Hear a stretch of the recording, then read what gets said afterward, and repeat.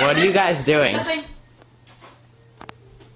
Um, it looks like you're doing something. What is that? It's a bear head? It's Jonathan's bear head.